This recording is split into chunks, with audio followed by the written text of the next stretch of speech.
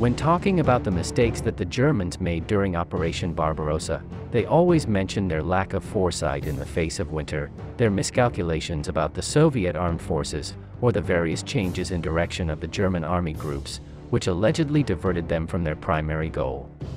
Another of the most common mistakes made when talking about this military operation is to point out that the main German objective in that 1941 campaign was to reach the Archangel Line in the north and Astrakhan in the south. Along the way, cities such as Kiev, Leningrad, Moscow, Rostov, Sevastopol, or Stalingrad would be conquered. Although this is not a lie, it is not entirely true either, since the main objective above all others was to annihilate the Red Army. After this, they would advance without any problem until they occupy the different locations indicated. When the planning of Operation Barbarossa was carried out, as well as its various rehearsals and war games, many factors were taken into account that are rarely mentioned when talking about this event. One of them was the need to take breaks every three or four weeks in advance, to reorganize the different units and give them a little rest. When these pauses were made during the end of July, it is often said that it was due to the Red Army, or due to lack of preparation, but the reality is that these pauses were within the plan. Another issue that has also been heavily criticized was the diversion of Army Group Center, which in early September was diverted to encircle the Soviets in Kiev. Again, this was something that had already been foreseen, since it was clear that the Central Group was the most powerful and the one that was going to advance the fastest. Because of this, he would have to pivot to secure his flanks, and to inflict heavy blows on the Soviets from their rear. A third point that generates much controversy is the need to finish the campaign during this first operation. And it is that, although it is not well known when the operation was planned, the idea that the German offensive would end by the end of October was taken into account, regardless of the progress achieved to date. From then on the German units would be quartered to spend the winter and recover from the damage suffered. Already during the spring of 1942 they would continue their advance and finish defeating the Soviets. During this stage, the rear guard would be completely consolidated, and railway lines would be built to facilitate the arrival of supplies to the new front line, from which it was also intended to continue the offensive. It would be at this time that the winter equipment would be sent to the German troops, since due to the lack of fighting, the supply lines would not be overloaded. The question we have to ask ourselves next is the following. If as we have seen, everything was foreseen and planned, why was the decision finally made to launch desperately towards Moscow or Rostov, with winter already upon us? As we all know, it was precisely in this last push, in which the German army wore itself out the most, and its future actions were already compromised forever.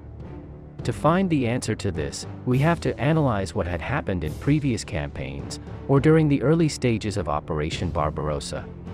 To see it chronologically, let's start with the French campaign. When the Germans attacked France in May 1940, they had no advantage objectively. The French army both in number and quality, was equal to or superior to the German, and also had the help of the British army. In addition, they had strong defensive positions as was the case with the Maginot Line, and all they had to do was passively withstand the German attack. However, all these elements turned against him, since his military doctrine was completely outdated. The Germans, for their part, made many mistakes and recklessness that they were about to pay dearly for, although everything turned out well for them in the end. During their raid on France, the Germans did not value a series of factors that were very important, and that later they would not have on the Eastern Front. An excellent network of roads along which his armies moved through France at full speed. A total air superiority that, in addition to preventing the attacks of the Allied planes, offered them support at any point on the front, as soon as the ground units requested it. This was also due to the fact that the military operations were carried out in a considerably small space. Another factor was the logistical facility that the German army had at all times.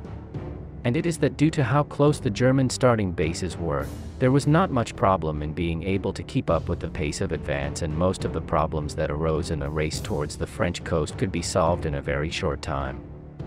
As we will see below, what would happen when the front was not hundreds of kilometers from the German border itself, but thousands of kilometers away, with an advance of the vanguard units that seemed endless. Without good roads and even railways, how were they going to supply their troops?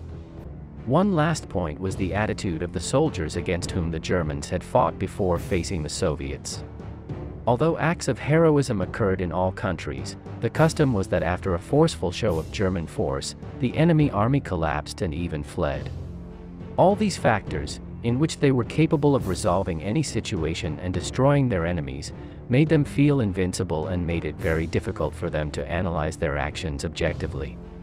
In short, the Germans were so euphoric that they did not want to pay attention to their failures and some of their fortuitous successes. When the Germans begin their first operations over the Soviet Union at the end of June 1941, the results are much better than expected. Before them they find an army totally inoperative and with hardly any capacity to react. Thousands of Soviet soldiers are taken prisoner every day and Stalin's surrender seems to be around the corner with each new pocketing of troops. Like a horse that has had a stick with a carrot stuck up its ass, the Germans continued to advance further and further into Soviet territory, making ever greater efforts. Little by little, the German panzer divisions, these being the spearheads of their army, became more worn out, either by combat actions, or because their armor broke down on their own. The situation for the infantry was not much better, and their divisions were increasingly less effective, this, however, was not an impediment to continue advancing and to continue obtaining victories. At the end of September, when all the estimates that the Germans had made about the Red Army had already been defeated, the Wehrmacht was still far from Moscow. At this time, the capacity of the German army was far from adequate to continue launching offensives, and it urgently needed rest and re-equipment. Driven by their euphoria and motivation, some generals, including Guderian, had begun to act almost on their own, not obeying the orders of their superiors. This again was a vice they came with from previous campaigns. At this point, and letting themselves be carried away by this belief that they were practically all-powerful, and that the Red Army had already been widely defeated, by October they decide to launch the attack again. All analysts agree that had they stopped the offensive at this point, and gone on the defensive while recovering from their losses, the Germans would have been able to restart their offensive in the spring of 1942, in much more optimal conditions than they ended up doing. They would not only have had the capacity to attack the southern sector of the Soviet Union as they did, but would have been able to launch in three directions simultaneously. In addition, the Soviet intention was to launch strong counterattacks during the months of October, November, and December, so they would have been depleted after launching against a defensive German army.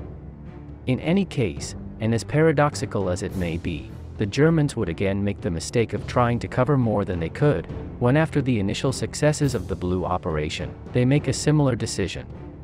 In short, the main cause of Germany's defeat in Russia was neither the weather, nor the most advanced Soviet tanks, nor the Red Army's ability to pull itself together over and over again.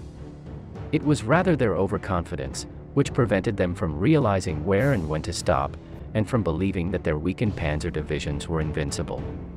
Many of these reflections are explained in great detail in this book by Jose Antonio Artero, entitled Behind the Myth.